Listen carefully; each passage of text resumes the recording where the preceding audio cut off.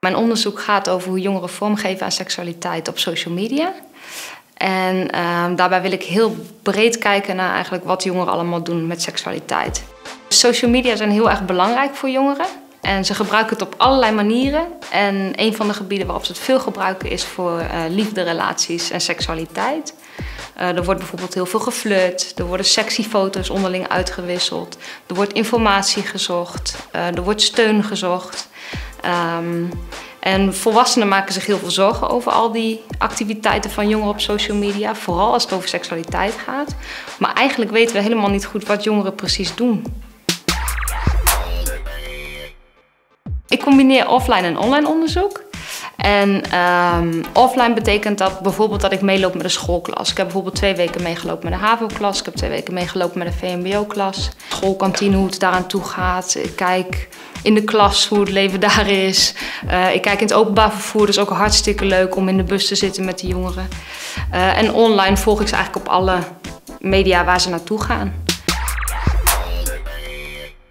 Het is belangrijk omdat uh, als je jongeren wil ondersteunen in social media gebruik en in seksuele ontwikkeling, dan moet je weten wat ze bezighoudt.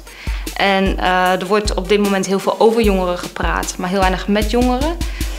Um, een voorbeeld is als je kijkt naar het gebruik van chatroulette. Um, volwassenen vinden dat eng, want er zitten heel veel naakte mannen op. Die vragen allemaal uh, seksuele dingen van die jongeren. Dat is gevaarlijk, doe maar niet.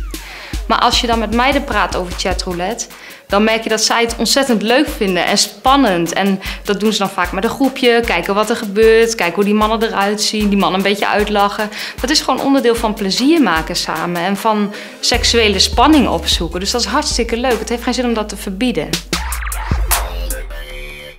Ik heb bewust voor de wetenschap gekozen. Um, toen ik net afgestudeerd was, wilde ik zo snel mogelijk weg bij de universiteit. Want ik, vond eigenlijk, ik had het idee dat het te ver van de samenleving afstond. Um, toen heb ik een tijd gewerkt bij de Vereniging tegen Seksuele Kindermishandeling. Dat was echt een mooie tijd. Uh, ik heb daar ontzettend veel geleerd. Alleen ik merkte dat ik het meest in mijn element was als ik onderzoek aan het doen was. En dat ik ook continu vragen in mijn hoofd kreeg. Hier moet onderzoek naar gedaan worden. Hier moeten we meer van weten. Dus uiteindelijk ben ik dan een aantal jaren later toch weer teruggegaan naar de universiteit. Omdat ik echt had gemerkt dat toch mijn hart bij het onderzoek lag. Juist bij genderstudies is de link met de, met de praktijk heel duidelijk. Um, omdat uh, ongelijkheid tussen mannen en vrouwen en ideeën over wat mannelijkheid en vrouwelijkheid uh, inhoudt, die zijn heel erg verweven in alle dagelijkse dingen die we doen.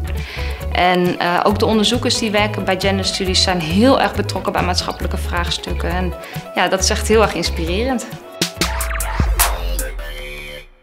Ik maak echt heel bewust tijd voor, voor mijn privéleven en voor hobby's. Um, en een van de dingen die ik heel graag doe is karate. Dat doe ik twee keer in de week ongeveer. En ik vind het heerlijk om even met echt iets heel anders bezig te zijn dan op mijn bureaustoel achter de computer.